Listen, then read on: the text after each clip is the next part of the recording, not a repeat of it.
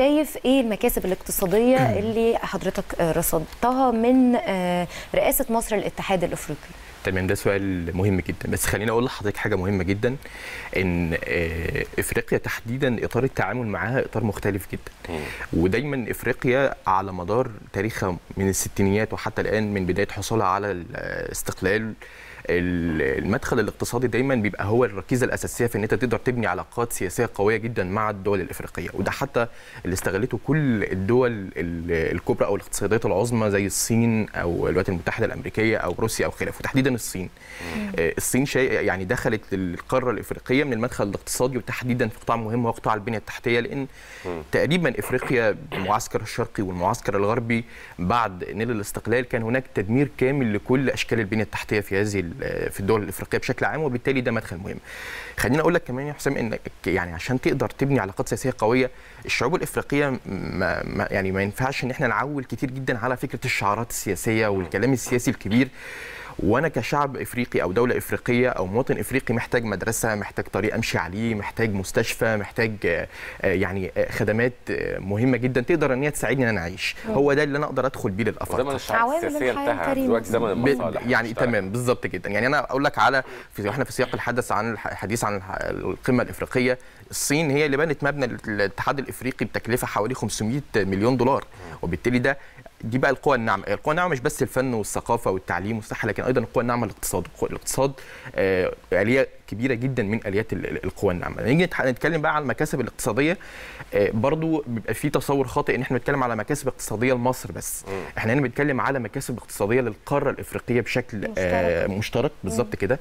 لما أنت ذكرت حاجة مهمة فكرة السوق الإفريقية المشتركة أو منطقة التجارة الحرة الإفريقية أو إن إحنا على غرار الانتقال أو ده حلم كمان بيراود الزعماء الأفارقة إن إحنا نعمل اتحاد إفريقي اقتصادي على غرار الاتحاد الأوروبي. حلو ودي فيها نقط كتير قوي جميل. هنف- هنفصلها لأنه خلينا نقول إحنا بنحلم بالسوق زي السوق الاوروبيه بس هنا الموضوع هنا اصعب. خلينا نعترف صحيح. إحنا عايزين نمسك كده نمسكهم نقطه نقطه. تمام. هنوضح لحضراتكم في 10 نقط إيه اللي ممكن يعود على القصة دي. أول نقطة إيه ت- تفتكر ال- ال- المكسب الأهم والأبرز؟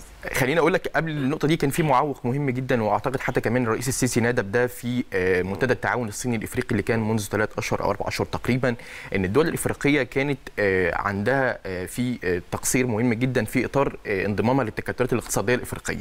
يعني تيجي تلاقي الدول الإفريقية في إطار التكتلات الاقتصادية الإفريقية ما بتلتزمش بأي بنود لهذه التكتلات زي الكوميسا أو السادك أو خلافه على غرار مثلا إنك تلاقيها في انضمامها للتكتلات الاقتصادية العالمية مهتمة جدا بتفي بكل التزاماتها. يعني هديك مثال جنوب إفريقيا منضمه لواحد من أكبر التكتلات الاقتصادية على مستوى العالم بريكس. بريكس.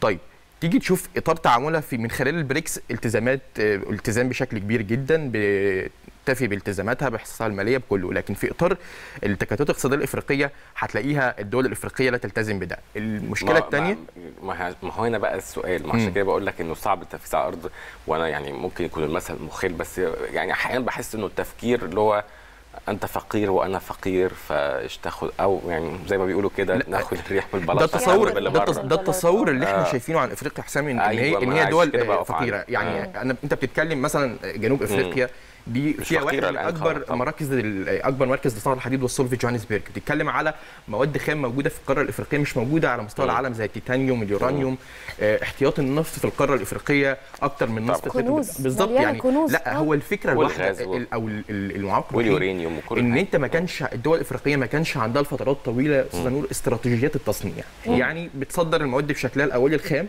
وبالتالي ترجع تستوردها تاني بشكل بش- مصنع. بتكلفة عالية. وبالتالي يعني يعني على سبيل المثال الكونغو مثلا الكونغو من أهم المحاصيل فيها ال- الكاكاو أو البن. تمام؟ كانت بتصدر طن الكاكاو بواحد دولار في فترة من الفترات في ستينات القرن الماضي وتيجي تستورده بقى لو أنت استوردت على سبيل المثال شوكولاتة مثلا ممكن ثمنها يعدي ال 20 دولار. فأنت بتتكلم على في ستاربكس ب 30 دولار بالظبط يعني بالظبط أنت بتتكلم على حاجة على فرق وده حتى لو-. بالظبط وده طبعاً. حضرتك لاحظت إن من أهم النقاط اللي السيد الرئيس طرحها في الملفات الاقتصادية في إطار هذه القمة فكرة تدعيم استراتيجيات التصنيع لأنك مش تتحدث عن تنمية اقتصادية حقيقية في إفريقيا والتصنيع أو أولويات التصنيع مش. موجودة وبالتالي إحنا دخلنا ابتدينا ان إحنا ندخل بقوه في المجال ده في مساندة الدول الإفريقية في آه، إنشاء مصانع إنشاء مصنعات تدريب عمالة هنا في مصر وبعد كده يرجعوا تاني دولهم إفريقية إن هم يكونوا. بالظبط يعني بناء العنصر البشري وب- وبوفر له كمان البنية التحتية. فيما يتعلق بالصناعات يعني دي نقطة التصنيع بالظبط إن ممكن يبقى في مناطق صناعية مشتركة آه، وغيره أو تبادل خبرات في مجال تمام. التصنيع أو الدخول في استثمارات في في. في التصنيع